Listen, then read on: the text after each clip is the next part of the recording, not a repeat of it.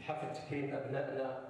باسم أعضاء المكتب الولائي لا نجي ونقول لكم بالمعدلات آه، مرحلة المتوسط.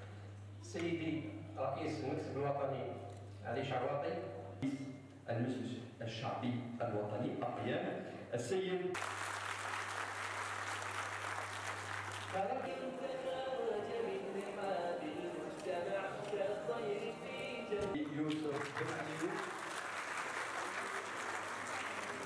أجل التغطية الأعلامية شكرا جزيلا لكل صحفي وصحفي.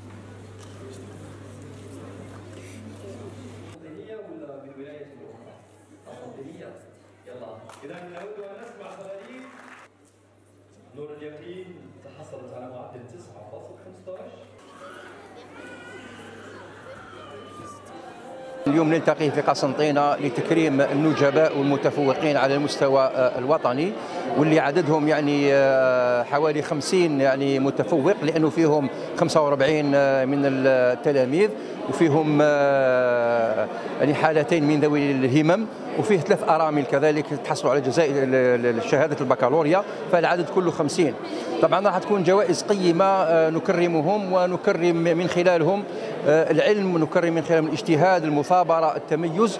وطبعا هذا استثمار لأنه آه، عندما نكرم هؤلاء ونحثهم على الاجتهاد فنحن آه، نعمل على آه، مستقبل مشرق للجزائر لأن هؤلاء هم مستقبل الجزائر. دعا جفال هيام وصال.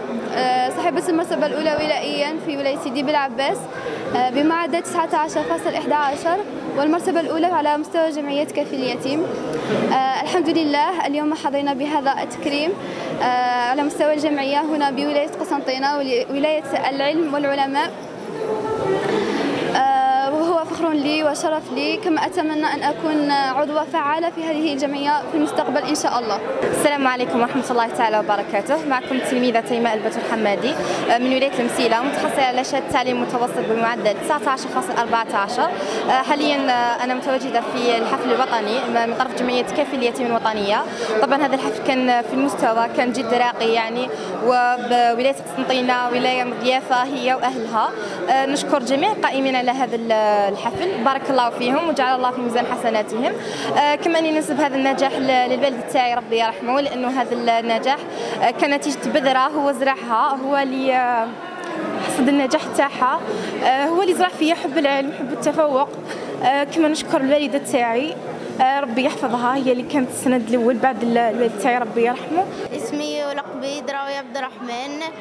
اليوم أنا فرحان بزاف بسبب اليوم راح نتكرم واليوم يوم مميز. وجبت معدلي 9.56 آه، وجيت من ولاية قسنطينة. فرحان بزاف وحابة نشكر والديا آه، آه، خواتي خاطر هم اللي عاونوني باش نوصل لهنا.